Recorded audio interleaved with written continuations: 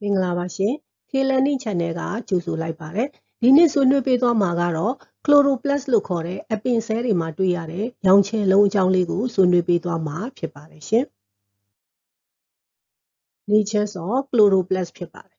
အစိမ်းရောင်ချယ်လုံးလို့ပြောလိုက်တဲ့အတွက် Chloroplast is a type of membrane bound organelle အမီးဘာဝန်းရံထားသောတာမန်မျက်စိနဲ့မမြင်နိုင်တဲ့အင်္ဂါငယ်ကလေးဖြစ်ပါတယ် အဲ့ဒီတာမန်မျက်စိနဲ့မမြင်နိုင်သောအင်္ဂါငယ်ကလေးကို plastic လို့လည်းသိကြပါသေးတယ် that contact photosynthesis mostly in plants and algae အပင်တွေမှာတွေ့ရတယ်လို့ပြောလိုက်တဲ့အခါမှာအတိအကျပြောမယ်ဆိုလို့ရှိရင် green plant လို့ခေါ်တဲ့အစိမ်းရောင်ရှိသောအပင်များမှာတွေ့ရှိနိုင်တာဖြစ်ပါတယ်။ရင်းညိပင်တွေမှာရင်းညိ cell တွေမှာလည်းတွေ့ရမယ်။ the photosynthetic pigment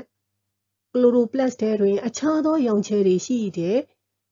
light energy လို့ခေါ်တဲ့အလင်းစွမ်းအင်ကိုစုပ်ယူဖို့အတွက်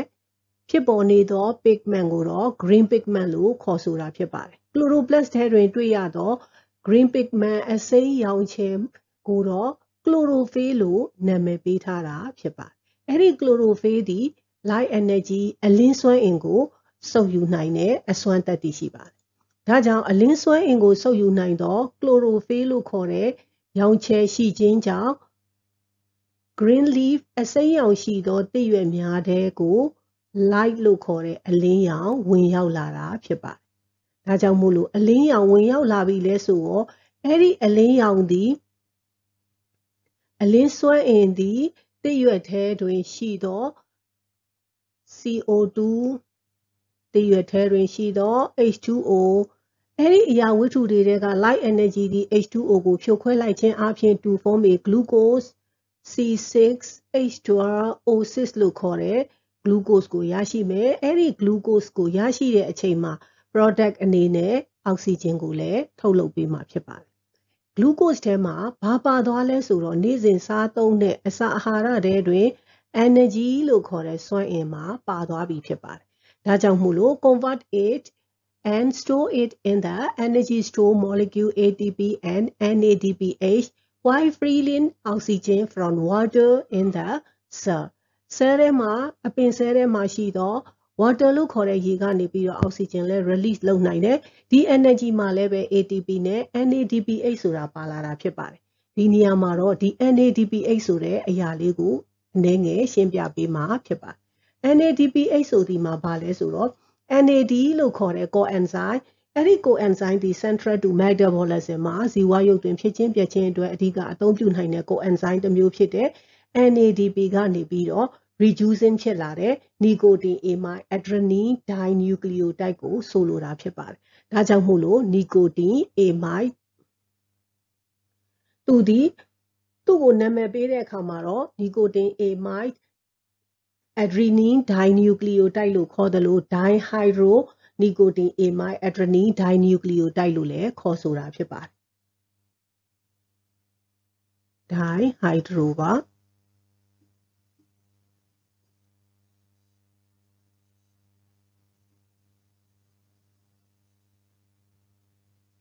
dinicotine amide adrenaline မှာ adrenaline dinucleotide ပါ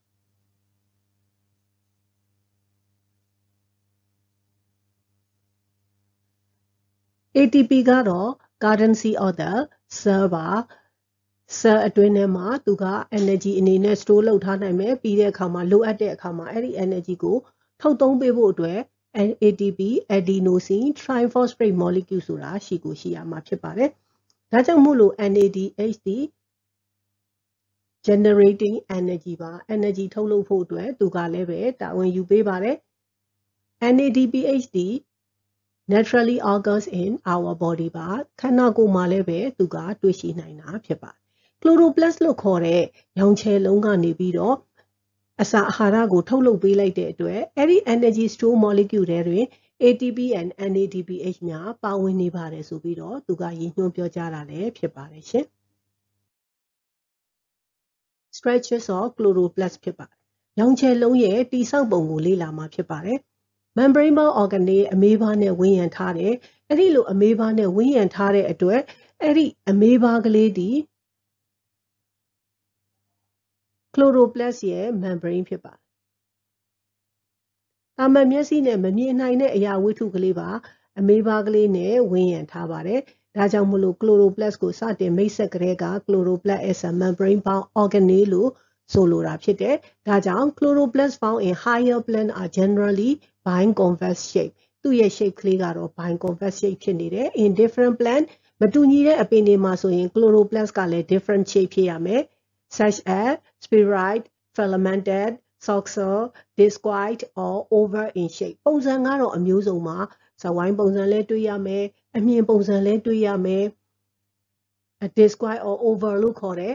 ဥပုံစံလည်းတွေ့ရမယ် They are the vascular and have a colorless center ဒါဒီသူဒီ colorless center အနေနဲ့လည်းပဲတွေ့ရှိရတာဖြစ်ပါတယ်ထူးခြားတာတစ်ခုကတော့သူ့ထဲမှာနောက်ထပ်အရာဝတ္ထုငယ်ကလေးတွေလည်းထပ်မံပြီးတော့တွေ့ရအောင်မှာဖြစ်ပါတယ်ရှင်။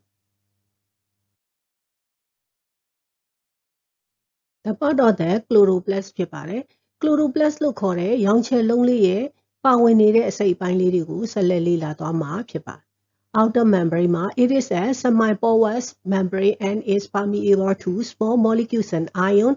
which diffuse easily. တစ်ဖက်စိတ်ချင်းကိုသူကခွင့်ပြုထားနိုင်တဲ့အတွက်အလွန်ကိုတင်းငယ်တဲ့ molecule တွေ ion တွေကလည်းပဲလွယ်ကူစွာ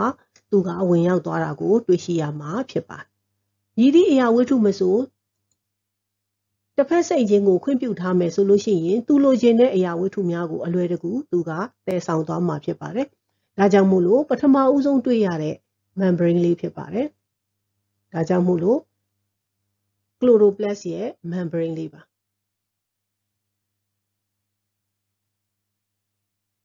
အဲ့ဒီ membrane လေးကိုဖြတ်ပြီးတော့ molecule တွေ ion တွေ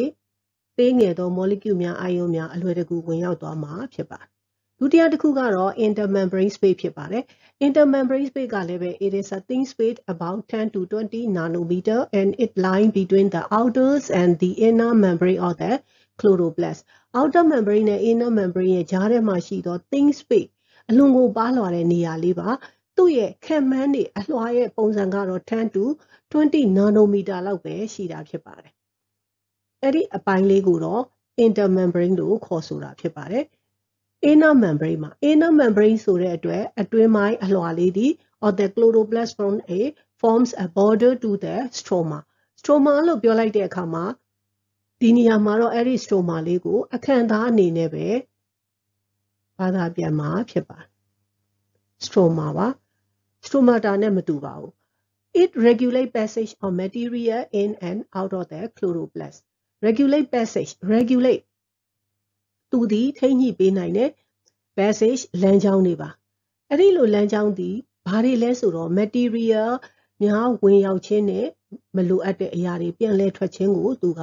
ထိမ့်ချုပ်ပေးနိုင်တဲ့အရာအနေနဲ့တာဝန်ယူပေးထားတာကိုလည်းတွေ့ရမှာဖြစ်ပါတယ်။ဒါကြောင့်မို့လို့ chloroplast ကိုလေ့လာတဲ့အခါမှာ outer membrane, intermembrane and inner membrane ဆိုပြီးတော့သူ့မှာအလွှာအားဖြင့်၃ခုဖြစ်နေတာကိုတွေ့ရမှာဖြစ်ပါတယ်ရှင်။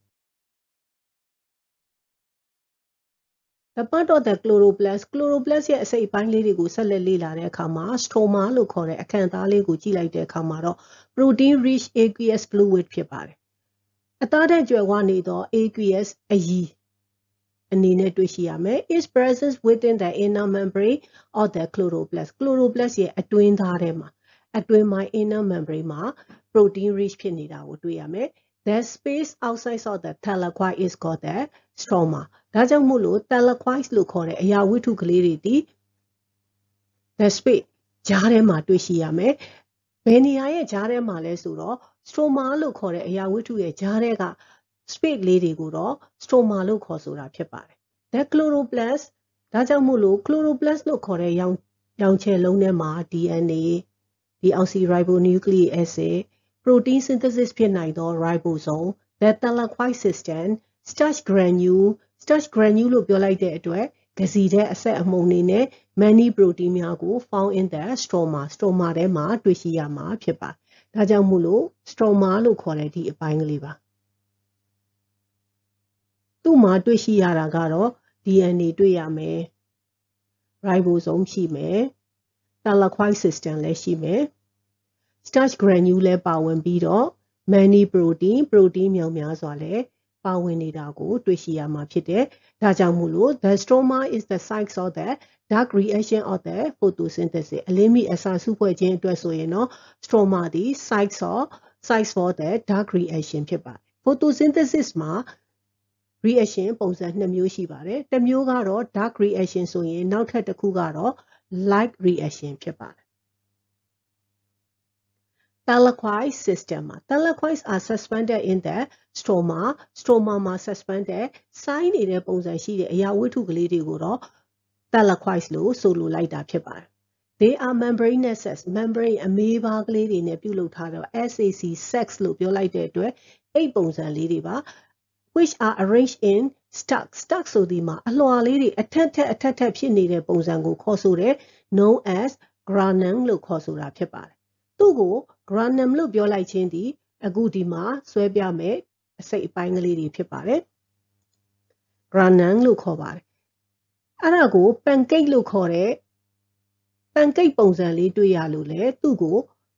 pancake shape လို့လည်းခေါ်ကြပါသေးတယ်တစ်ခုချင်းဒီ granum မှာအများစုကတော့ grana ဖြစ်ပါတယ် grana ပါအဲ့ဒီ grana သည် thylakoid လို့ခေါ်တဲ့အရာဝတ္ထုကလေးတွေထပ်နေလို့သူ့ကို grana လို့ခေါ်တဲ့အတွက်တစ်ခုချင်းစီကို thylakoid လို့ခေါ်ဆိုမှာဖြစ်ပါတယ်